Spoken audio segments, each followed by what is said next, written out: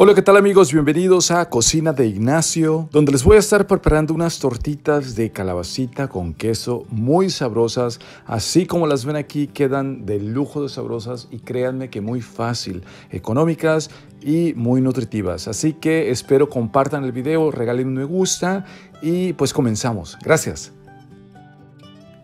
Y bueno, para esa deliciosa receta yo voy a estar usando calabacitas, harina necesaria, un buen manojo de cilantro, tres jitomates, media cebolla blanca, un diente de ajo grande,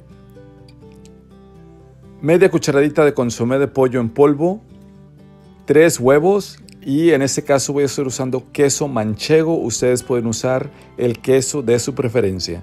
Y obviamente sal y pimienta al gusto y aceite para freír. Lo primero que vamos a hacer es poner a hervir nuestros jitomates, la cebolla y el diente de ajo. Para luego voy a rebanar las calabacitas. Cabe mencionar que aquí las calabacitas ya las tengo precocidas. Como ven aquí no están totalmente recocidas, pero sí lo suficiente para poder trabajar con ellas. Y yo las voy a hacer en ruedas más o menos de este grosor. Yo les recomiendo que si encuentran calabacitas de las redondas, de esas que parecen unas bolitas, son mejores porque les quedan unas tortitas más grandes. Pero para mí estas me funcionaron muy muy bien. El tamaño quedó muy bien, ahorita las van a ver.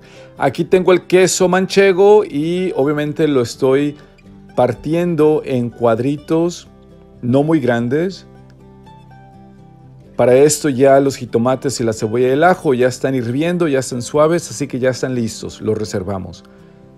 Y aquí les voy a mostrar, prácticamente vamos a agarrar las calabacitas y las tenemos que presionar más o menos así, a sacarles todo el líquido.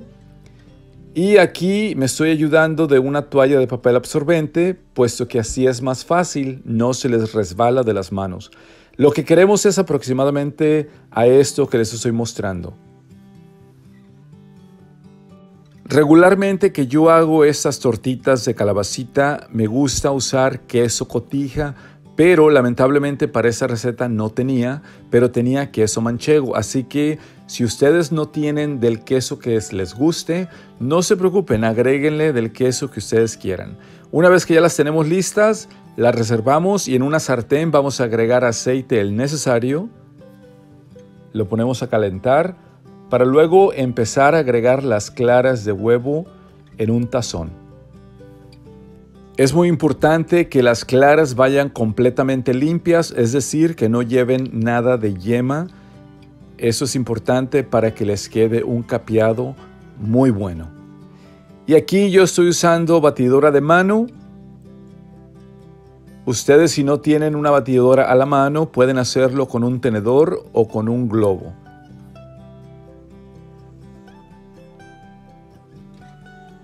Y aquí les voy a dar una sugerencia muy buena. Yo aquí, por ejemplo, estoy batiendo las claras y es a una velocidad media. Aproximadamente duré 6 minutos desde que comencé a batirlas hasta el final. Seguimos batiendo lo que son las claras y una vez que hagan esto y no se muevan las claras, quiere decir que ya están listas para empezar a agregar las yemas. Yo aquí las estoy agregando una por una, es decir, agregamos una, batimos muy bien, agregamos la siguiente y volvemos a batir y así hasta terminar con todas las yemas. Créanme que si lo hacen así como lo están viendo, les tiene que quedar un capeado muy bueno, la verdad que queda bien bonito el capeado. Y aquí le estoy agregando aproximadamente una cucharada de harina en forma de lluvia. Lo batimos unos segunditos y ya queda listísimo. Aquí vamos a licuar la cebolla, el jitomate, el ajo y el consomé de pollo en polvo. Una vez que está listo lo reservamos y pues aquí ya el aceite se está poniendo bien. Agarramos las tortitas, las enharinamos perfectamente bien.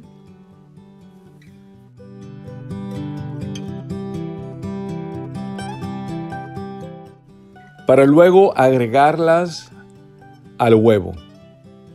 Y yo aquí me ayudo de un tenedor y pues directamente al aceite calientito.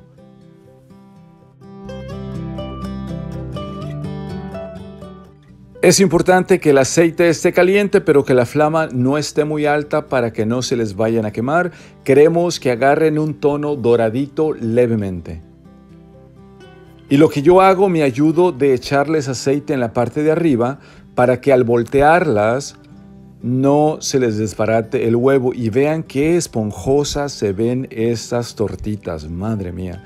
Créanme que este capeado les va a quedar muy bien no tienen que batallar para hacerlo. Y pues bueno, mientras están dorando estas, seguimos trabajando en las tortitas.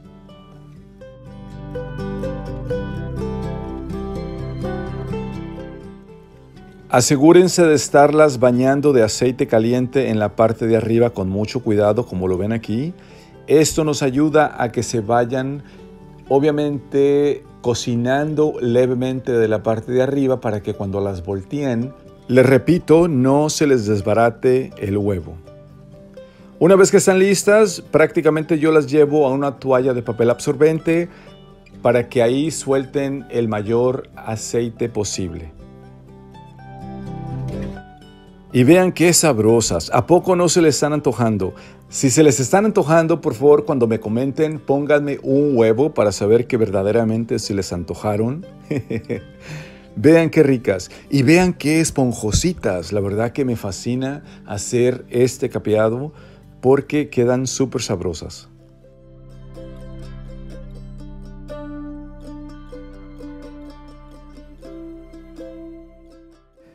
Y bueno, vamos a seguir haciendo nuestras tortitas para luego estarnos preparando para el siguiente paso que ya es obviamente cocinar lo de la salsa.